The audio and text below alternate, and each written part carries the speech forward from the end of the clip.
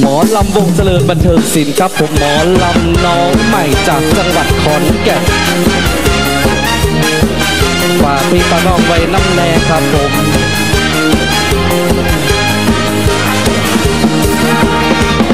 บ้านเลขที่ 283 หมู่ 15 บ้านม